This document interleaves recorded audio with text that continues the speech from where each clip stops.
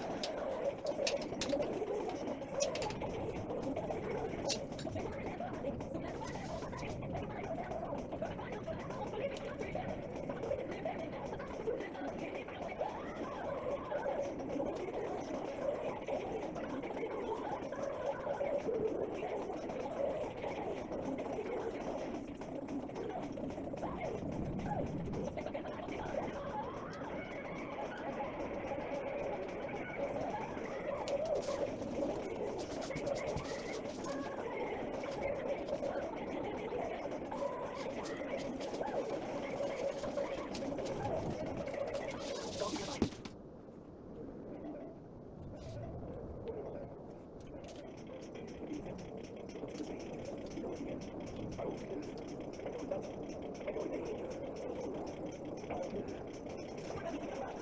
you.